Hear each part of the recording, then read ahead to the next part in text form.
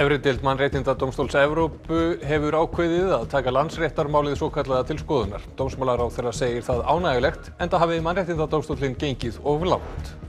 Ríkislauruglustjóri á að víkja á meðan úttekt á embættinu fer fram. Þetta er mat stjórnar lauruglufélags Reykjavíkur. Ógnar stjórn og meðvirkni viðgangist hjá embættinu. John Berkró, fórseti neðri málstofu Breska þingsins ætlar að láta af störfum í næsta mánuði. Þingmenn takast nú á um ímismál tengt Brexit. Mánaðar hlje verður gert á þingstörfum í lok dags.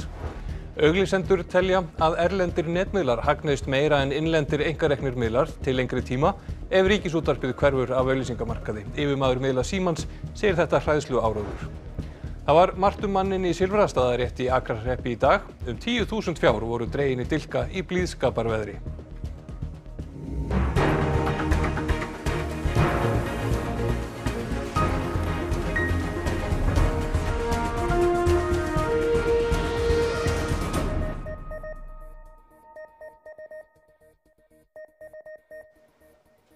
Gott kvöld.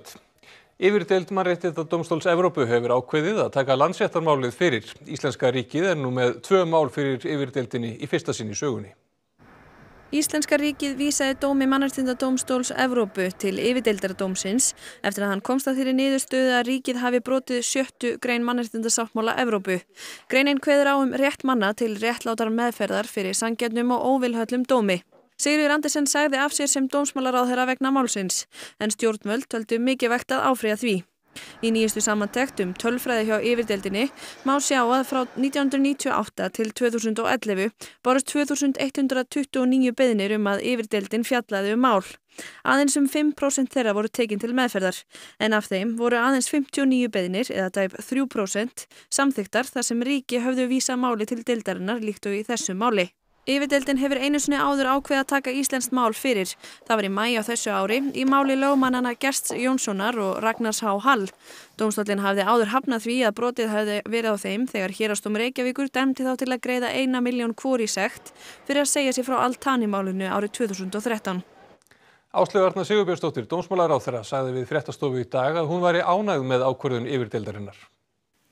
Þetta er bara mjög ánægilegt. Við lögum auðvitað áherslu á að máli færi til yfirdildarinnar til endurskoðunar og vildum láta endurskoða málið að við töldum niðurstöðun að ganga og langt og hún hefur, getur auðvitað einnig haft fórstafískildi. Hvað þýðir það þá fyrir landsett? Nú hefur við talað um að það ríki réttar óvisa sem að þurfa að leysa úr sem fyrst.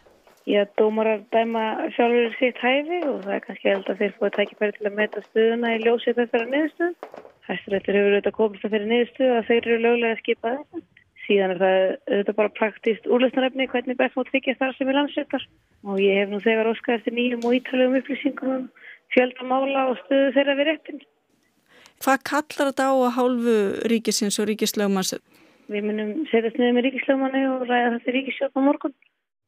Og Milla Ósk Magnúsdóttir fréttamaður, hver hafa önnur viðbröð við þessari niðurstöðu verið?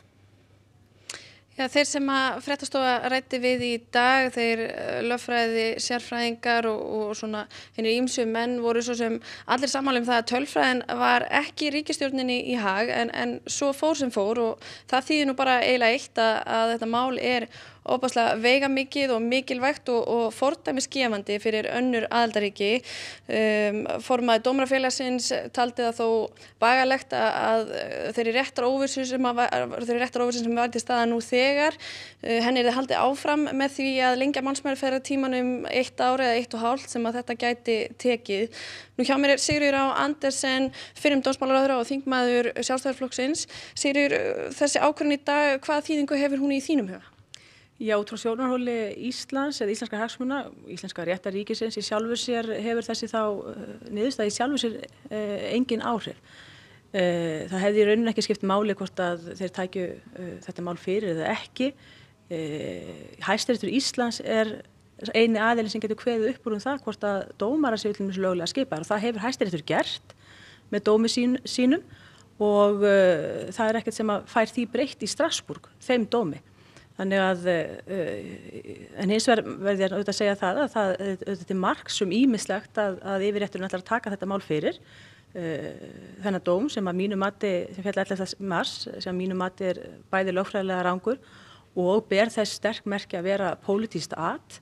Þannig ég tel að því leiti jákvægt að, að dómstólinn fái þannig tækifæri til að leiðrétta það, fari við það og skýra, skýra það betur sem þarf frá fram. Þú hefur um talað um það að þetta, þetta hafi verið pólitist aðta, pólitist kjörnum dómurum þarna í Strasbourg. Um, hefur einhverja meiri trú á yfirdildinni hjá mannestundóstunum? Nei, nei, sjálfur sér ekki en það segir það að skiptir einhver máli sjálfur sér heldur hvað, kemur, hvað niðurstöða kemur þaðan. Uh, að því leiti geti tekið undir sem lögmar dómarafélagsins, nei, hérna, formar lögmannafélagsins, heyr, ég heyri það segja í fréttum hérna áðan að, að uh, það er hæstaréttar að leysa úr um þetta, þar að segja að ef að menn telja sig eitthvað réttarófisu, sem ég er enda tel ekki, það er engin réttarófisa upp um það að allir dómara við landsettir eru löglega skipaðir, uh, það er engin réttarófisa.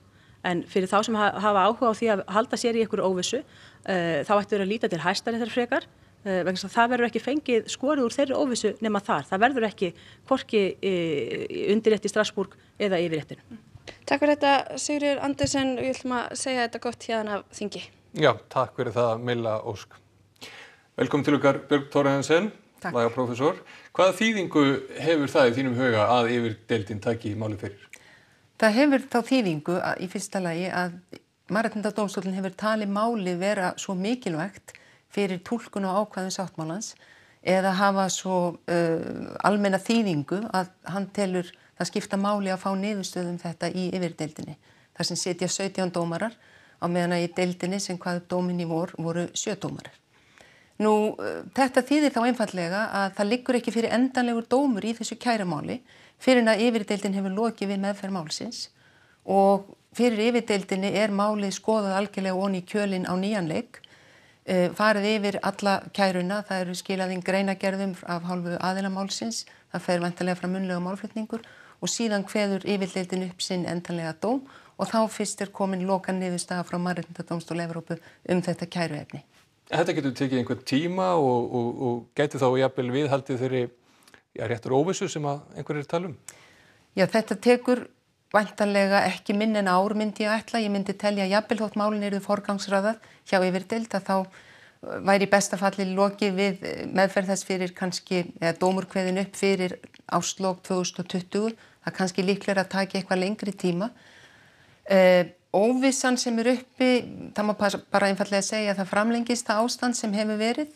Uh, það var núna beðið eftir því að sjá hvort að yfirdeildi myndi hafna því að taka máli til meðferða, þá hefði þetta verið endalið niðurstaða að það væri broti gegn sjöttu grein en nú rakna það í raun allt saman við aftur og, og yfirdeildin getur komist að sömu niðurstöðu og deildin og getur líka að komist að annari niðurstöðu.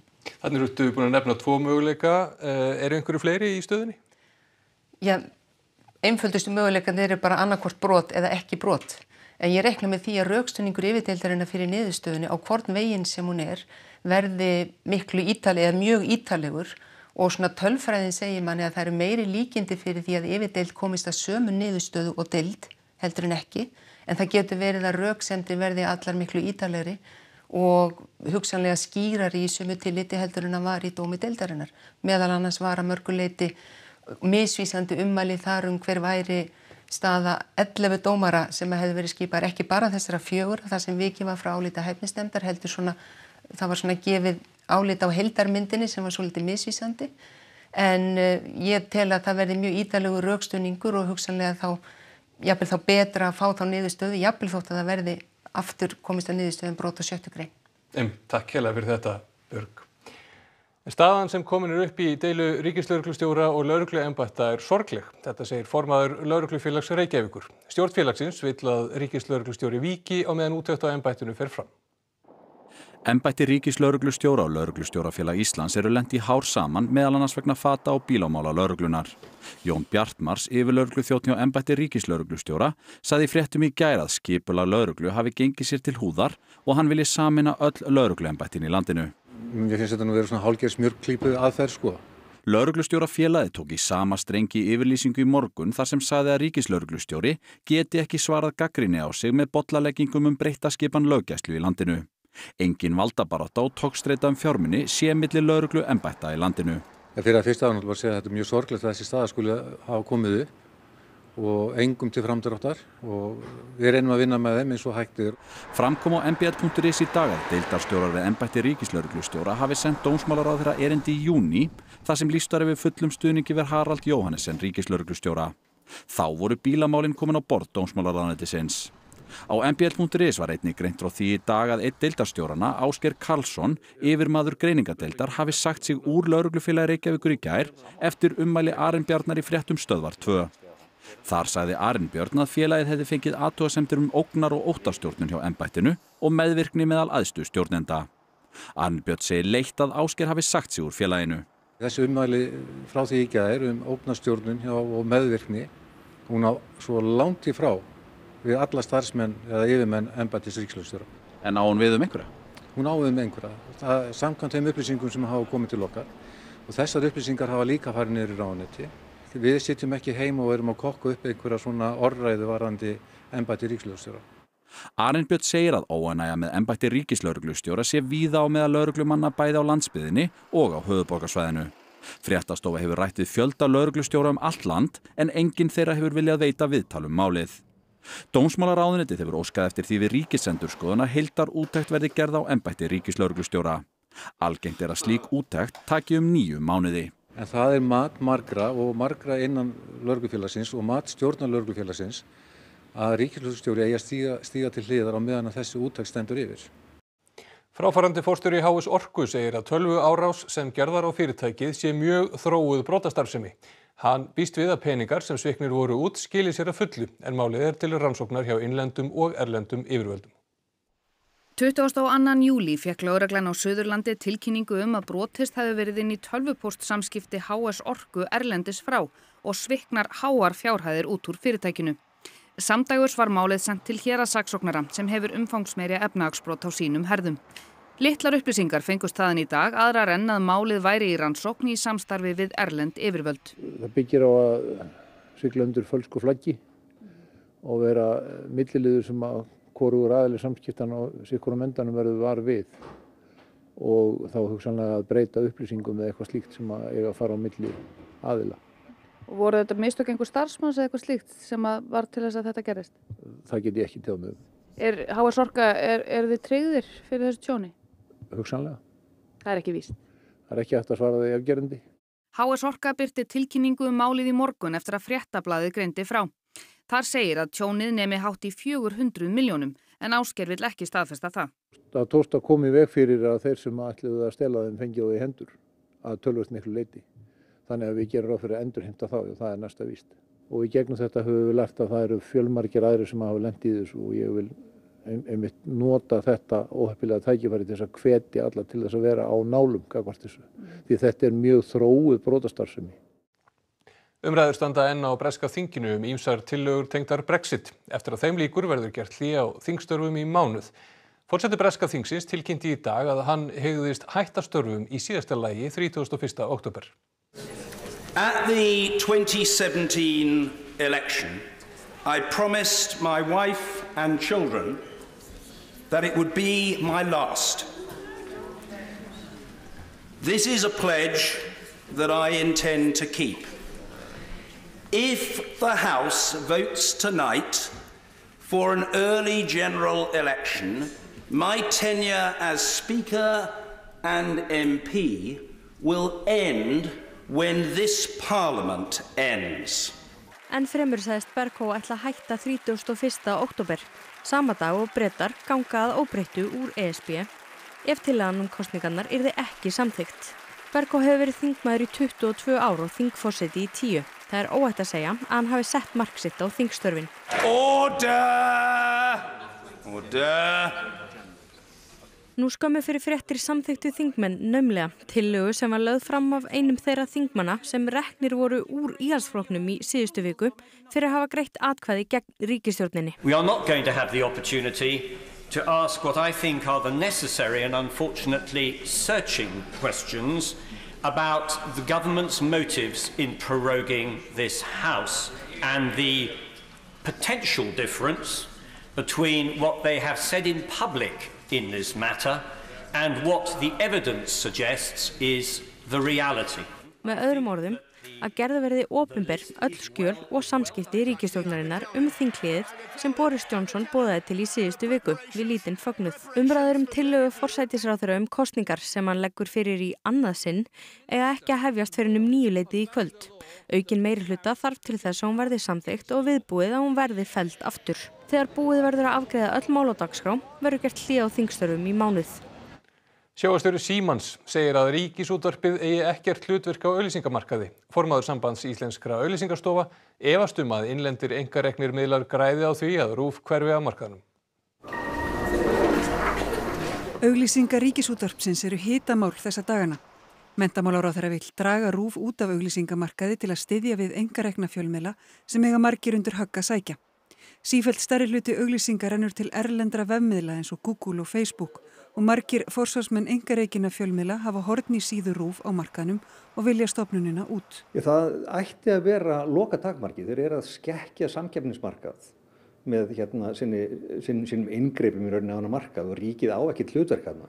En sumir þar á meðal auglýsendur hafa efasemtur um að þessar aðgerðir styrki engarekna fjölmiðla. Til styrtri tíma mögulega, til lengri tíma teljum við að, að sko, fjármæni og auglýsingar munum alltaf leita bara á þá miðla sem, sem að næri sem flesta í, í raun og veru í markupin og ef rúf er ekki í bóði þá finnum við bara leiði til sem að náum með neytunda.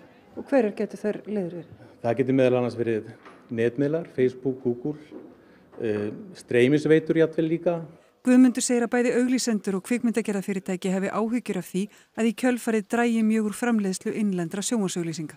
Jú, jú, þetta er svona hérna, hræðslu áráður hagsmuna aðila en ef við, ef við gefum okkur nú bara til dæmis að umsöfum verið mingu, þau eru í dag í einhvern 2,2 til 2,3 miljardum og umsöfum eru mingu bara í fyrsta þrepi neyri 1,5 miljard, þá væri í rauninni hægt að hætta þessari, þessari aktífu hörðu sölu sem fer fram og taka bara kostnað út úr ekstra ríkisútasins á móti. Þetta væri fyrsta skref svo eitthvað annað eftir tvö ár eða fimm ár. Ég, veist, ég skil alveg veist, að þessir aðilar eru náttúrulega að eiga í samkettni við ríkið og þennan sterka miðl og það sem kannski við sem auglistu, við viljum náttúrulega sterka miðla og við myndum óska þess að það væru bara margir sem að horfa sjóma símans. Ríkisútarpið hefur þriðjung tekna sinn af auglýsingum um 2 miljardar króna á ári. Mendamálar á þeirra segir skýrt að stopnuninn fái tekjumi sinn bættan að fullu. Stjórnarformaður ríkisútarsins hefur áhyggjur af því að miðillin missi það fjárhagslega sjálfstæði sem auglýsingarnar hafa tryggt honum. Það geti ógnað reittstjórnarlegu frelsi rúf að vera ofurselt valdhöfum hverju sinni. En við erum náttúrulega daldið hrætt við að eh, við lendum í einhverju pólitískum hverfjulindi þegar á að hækka útvarskjaldið en eh, við krefjum þess að eh, við fáum þetta að fullu bætt. Lauruglumadur sem er ákærður fyrir broti starfi neitaði sök fyrir hérastómi Reykjavíkur í morgun þegar aðalmeðferð í máli hans fór fram. Hann er sagaður um að hafa ekki gætt lögmætra aðferða þegar hann þvingaði bifrið út af þjórsárdalsvegi í mæi fyrra eftir eftirför. Ökumadur bílsins sem var undir áhrifum áfengis og hafði áður gengið berserksgang með gröfu við heimilið sitt, hálsbrotnaði og hlaut tímabundna lömun þegar bílinn vald. Nánar má lesa um þetta mál á rú.is. Það er alltaf góð stemming þar sem eru kindur, segir gestur í Silfrastaðarétt í Akrarreppi, þar sem réttað væri í dag.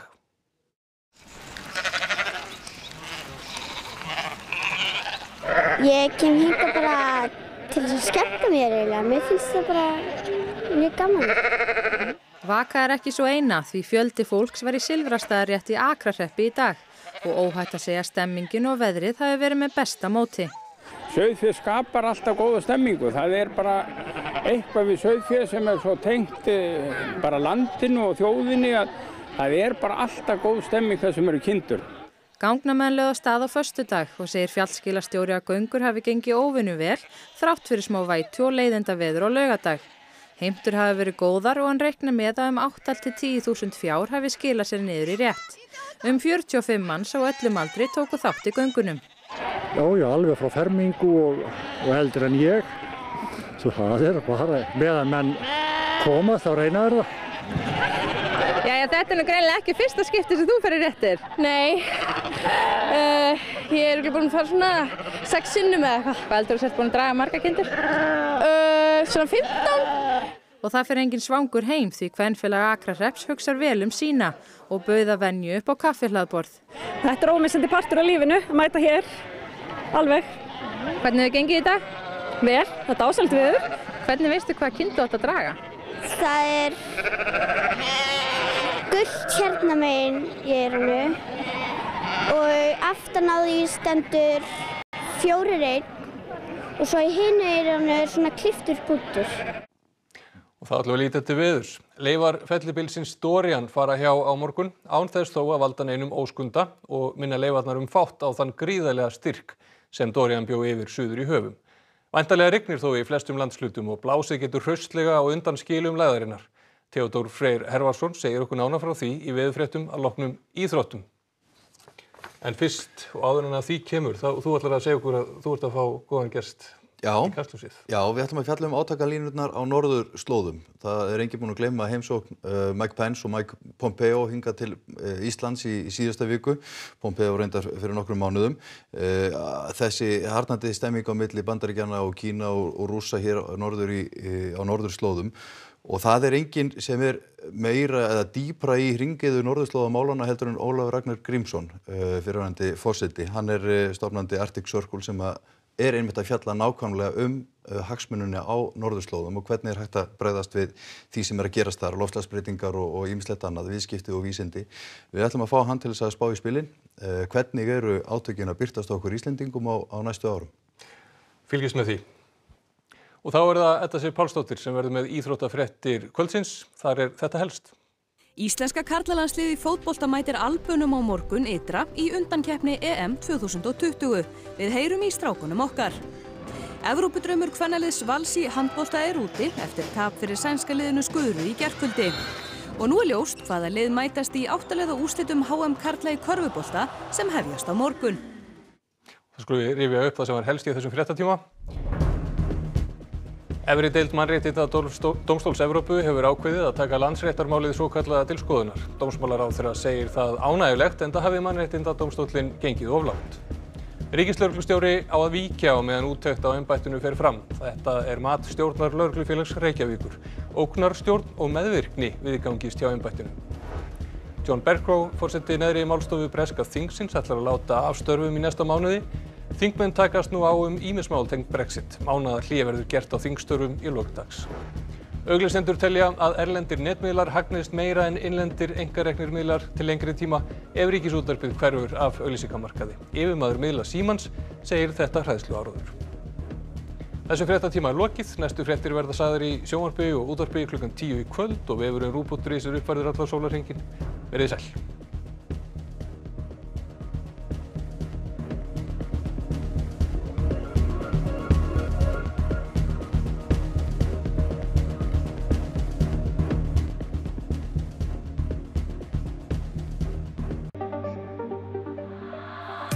EM í fótbolta heldur áfram og næst taka strákarnir okkar